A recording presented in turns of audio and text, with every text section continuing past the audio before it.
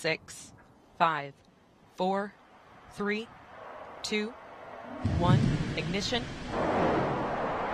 And liftoff of Starliner and Atlas V, carrying two American heroes, drawing a line to the stars for all of us.